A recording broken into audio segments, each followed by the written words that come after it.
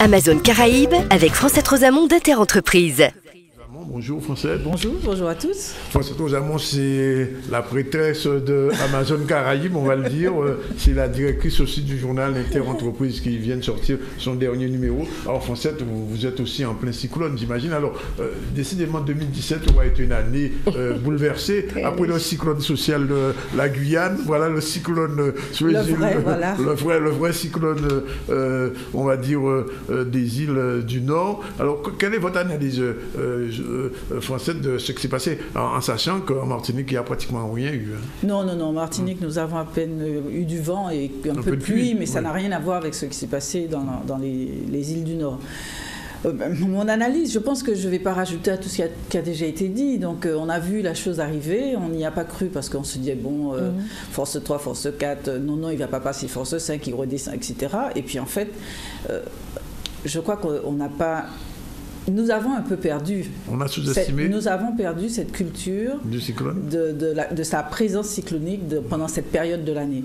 Euh, et, là, c'est l'expression très, voilà, très, très criante. Et puis en plus, c'est vrai que Saint-Martin a bénéficié euh, énormément de la défiscalisation pendant une période. Il y a eu beaucoup de constructions. Ah, et vous, savez, vous, savez que hein. la défiscalisation, si elle a été remise en cause, c'est entre autres parce qu'il y avait eu des, disons, des, abus et que mhm. forcément les constructions n'ont peut-être pas été euh, avec suffisamment de ciment, de firage, etc., etc. Donc on paye la conséquence d'un peu de notre inconséquence. Maintenant, euh, effectivement, il y a la population, il y a des. On a entendu le président ce matin.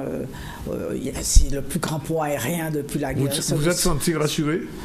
Écoutez, moi j'attends pas, je, le dis chaque fois, je n'attends pas sur les autres pour qu'on me dise qu'il faut élaguer mes arbres, qu'il faut euh, curer ma rivière et puis qu'il faut euh, descendre, euh, protéger ma maison en cas de période cyclonique. Et puis je ne construis pas n'importe où. J'ai acheté une maison, je n'ai pas acheté sur un terrain comme ça. Ni au bord de la mer, ni sur les 50 pas. Donc moi, moi je crois que cette, cette culture, j'ai toujours gardé au fond de ma tête parce que j'ai vécu des, des, cyclones très forts quand j'étais petite.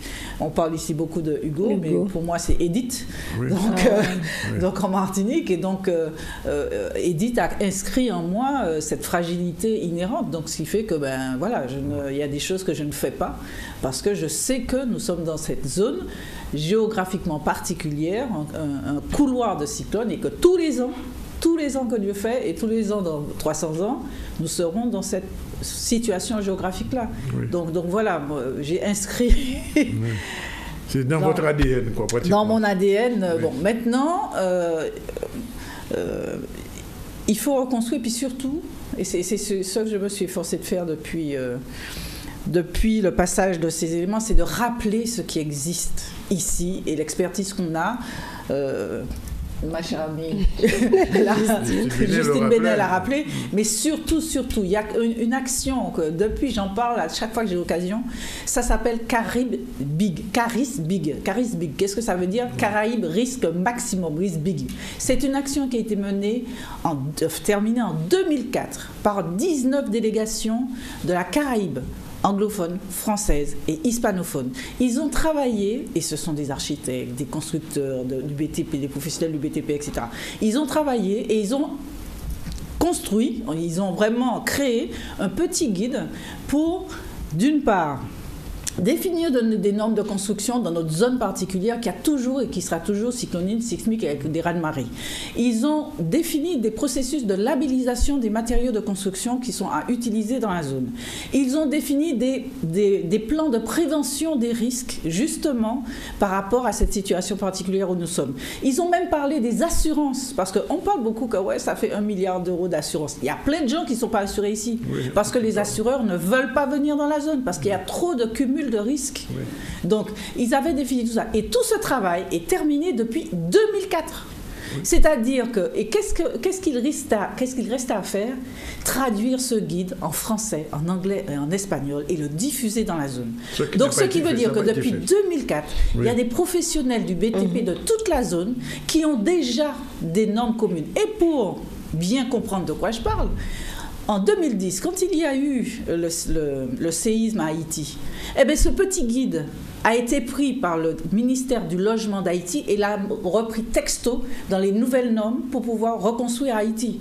Donc, ce qui veut dire que ce travail existe. Il est Donc, on ne vient pas nous sortir des, des, normes, excusez-moi, des, matériaux, des toute de France, là, on a dit tout à l'heure qui sera présent. C'est très bien, on est content.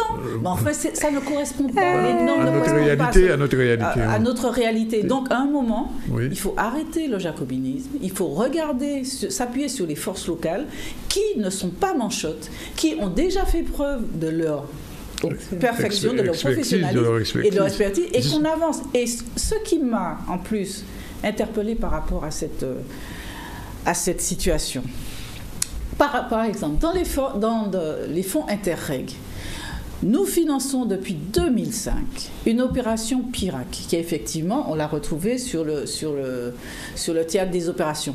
Mais PIRAC, qui, euh, euh, qui a la Dominique, Sainte-Lucie, je crois la euh, de Martinique, Guadeloupe, etc. Mais il y a plein de petites îles qui ne sont pas dedans. Parce qu'on on ne sait pas coopérer. Donc nous avons des fonds Interreg. Il faut que ça aille plus vite. Quand on dit qu'on a, que, on a 29 000 kits de positionnés, ça ne ressemble. C'est pas beaucoup pour une population de 35 millions d'habitants. Donc, on a des outils, maintenant, il faut, on les a expérimentés. Il faut passer à la phase industrielle. De même, qu'est-ce qu'on a vu? Euh, Justine en parlait tout à l'heure, des bateaux de la zone Caraïbe qui n'arrivent pas à accoster dans nos, sur nos, alors qu'ils veulent porter assistance, comme nous, nous avons porté assistance à un moment pour eux. Donc, à un moment, il faut que nous reprenions notre réalité. Je ne parle pas d'indépendance parce que ça n'a aucun sens. J'ai entendu ça sur les réseaux sociaux. Aucun sens. Il faut reprendre notre réalité par rapport à ce que nous sommes, c'est-à-dire des Iliens. Oui, mais si nous n'avons pas le pouvoir, le non, politique.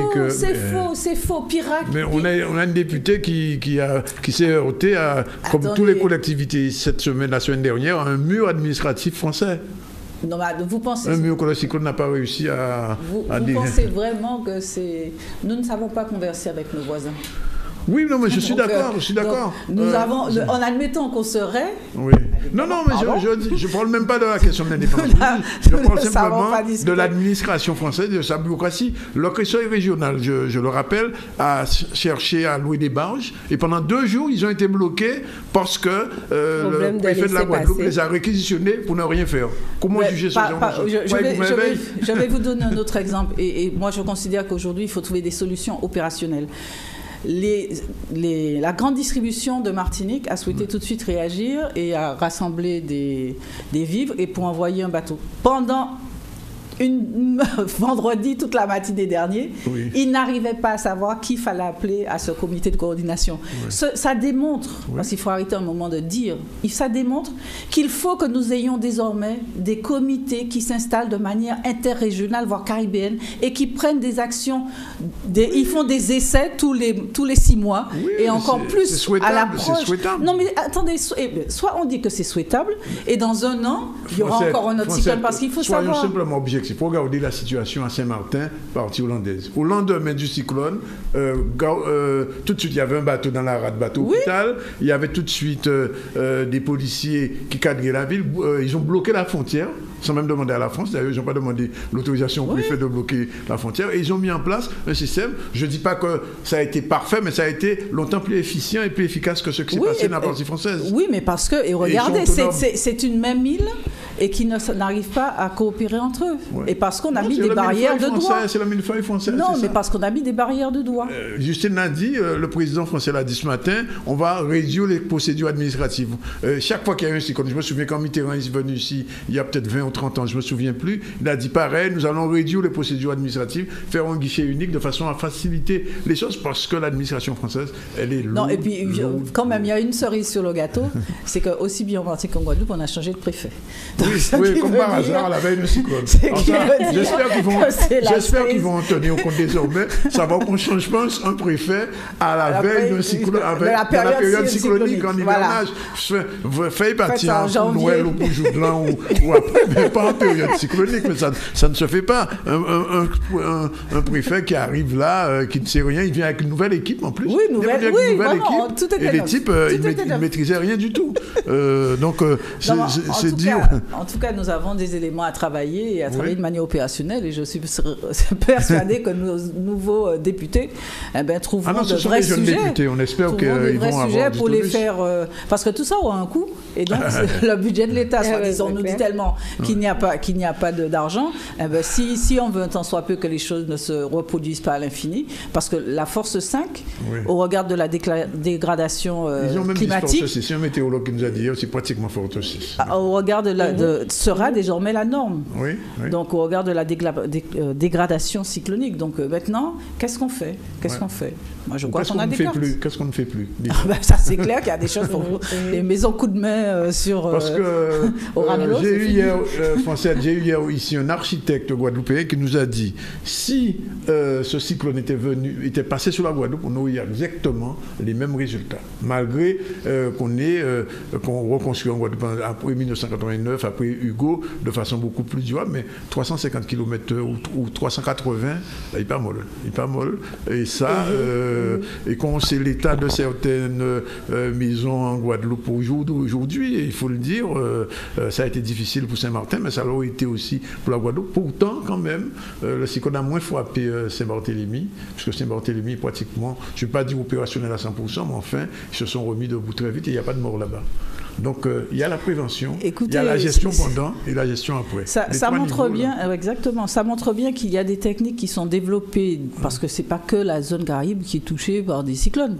Et il y en a d'autres qui ne, le nombre de morts, etc. On ne connaît plus ça parce qu'il y a une prévention nettement plus opérationnelle. Tout à fait, tout à fait. En tout cas, euh, je remercie tous les deux. Je ne sais pas si François vous avez terminé. Deux petits mots quand même ah oui, sur deux, deux petits mots sur le dernier interentreprise qui est en kiosque depuis. depuis mais carton était bloqué par donc nous aussi, nous avons eu des effets collatéraux. Alors la, guerre des contingents, deux petits mots là-dessus quand même. Oui, voilà, euh, les Romiers, après avoir longtemps, longtemps euh, discuté avec l'Union européenne, a augmenté le, volume d'alcool pur possible d'être vendu sur le marché français. Parce que là-bas, la consommation de rhum agricole explose. Or, jusqu'à présent, ces, bonus, en fait, ce, surplus d'activité est pris par les producteurs euh, étrangers extérieur. Donc, l'Europe a enfin donné une autorisation d'avoir un peu plus, mais Maintenant, il faut répartir. Et la répartition est un peu compliquée entre la Martinique, la Guadeloupe, la Guyane, qui la va Réunion. Qui va gagner, voilà,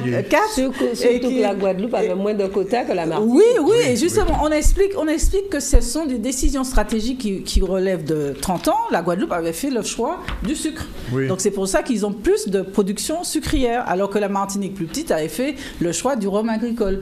La Réunion également avait fait le choix du sucre. Donc maintenant que les quotas sucriers sont en train de s'effondrer et que le rhum agricole euh, performe. Donc tout le monde veut le maximum. Donc et maintenant, il faut s'entendre. Et la Guadeloupe produit un bon rhum agricole. Oui, non, mais tout le monde produit un bon rhum. Tout le monde, mais seulement. Et, si ce qu'on ne, dit pas, euh, Français, c'est que euh, la production romière martiniquaise, elle est connue, mais souvent on achète beaucoup de quotas de. Voilà, dans le dossier, nous voilà.